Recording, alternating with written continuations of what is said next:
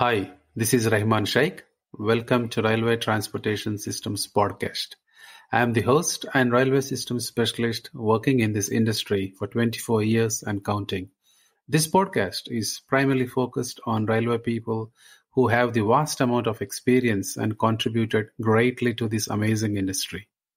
This is not a technical seminar, but focuses on feel good stories, individual journeys, their success and failures motivating younger generation to kickstart their career in railways and creating a sense of pride for railway people who devoted their lives on the most environmentally friendly public transportation.